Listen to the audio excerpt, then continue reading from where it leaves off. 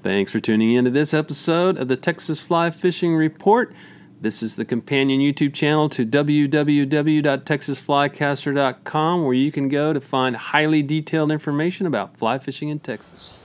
Hi, and welcome to the Thursday Texas Fly Fishing Report. It is Thursday, April 16th. We hope you made it through tax day. And we are here under some really unstable weather conditions here in North Texas. We're looking at possibility of uh, a lot more rain here, and that is a good thing and a bad thing. So that's what's going on in North Texas. This, this unstable pattern seems to be around most of the state. Um, you just never know how far it's going to reach or where that dry line goes to and comes back to. But I'm not a weatherman, so watch your local weather and make sure that if you're on the water in a boat that you pay attention to all warnings and watches. Well, it looks like a really great weekend. Things are really shaping up. Spring has sprung. It is time to go fishing, guys. It is time. We made it through the winter. We made it through the early spring, and now we're here. There's fish all over North Texas in the lakes and uh, in the creeks everywhere. Um, the patterns that we're looking at right now are based on rain, and part of it's good and part of it's not so good. On the lakes, like Ray Roberts here in North Texas, that water's been down for almost five years now. And so as that water went down, vegetation grew right here, and it grew here, and it grew here, and it grew here, and it grew here, and it grew here, and it grew here. So now that water's coming back up through that vegetation, and the stuff that was at the top of that level is the oldest. So the oldest stuff is actually the tallest, most healthy, and thick. So that water gets in there, and the fish get in there, and the carp get in there specifically, and, and bass too, of course. They're hard to get to.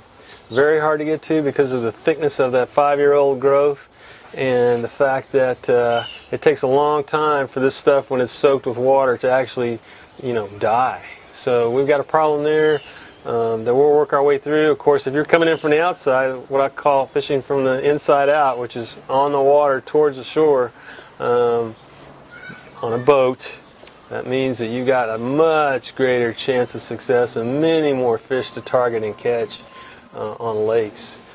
Now the flip side of all this, of course, is that uh, these lakes, if they get full enough, they'll start releasing water, and they may be forced to release water anyway for places that aren't getting rain down down the chain. So think about that.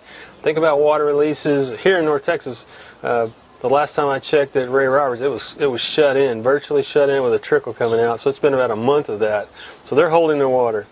That meanwhile, Lewisville Lake, Lake Dallas is getting a lot of water straight into it, and they'll probably be first to release water if they're not already opened up. And those areas below the dams are really good for fly fishing and really good when when that, that oxygeniza oxygenization gets going down below these dams and it percolates a lot of water and a lot of oxygen and those fish come up for instinctual instinctive reasons.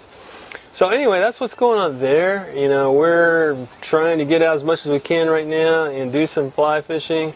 And it's really kind of difficult because work, work, all the different work I do and things I do is also percolating at the same time.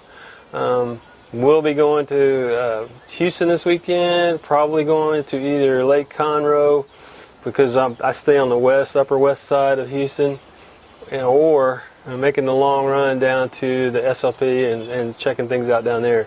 Of course, any reports I give you, uh, the one things that I actually do firsthand are top priority. What I'm seeing on the coast now is things seem to have gotten a little bit quiet, maybe slowed down just a little bit. It could be that uh, there's something going on on the coast, but I really don't know because I'm just not seeing anything. So maybe if you know anything about the fly fishing conditions on the coast, you can tell me all about it.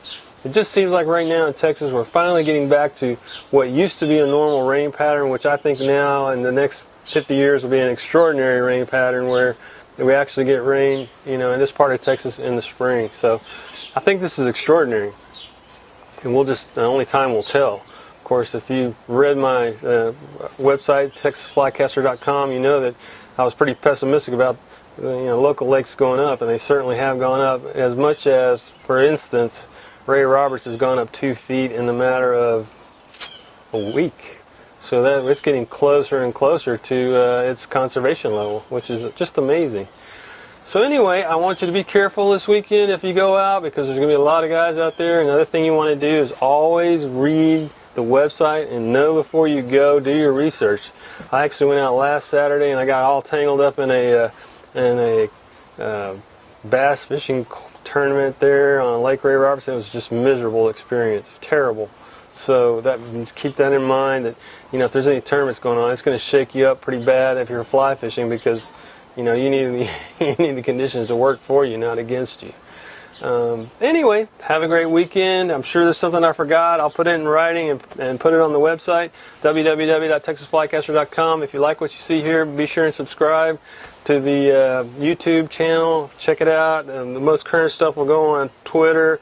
And actually, the most, most, most current stuff now goes on Instagram and little video clips. And I will, if something really great happens, I'll go ahead and shoot it on, on the phone and send it directly to the, the YouTube channel from there this weekend.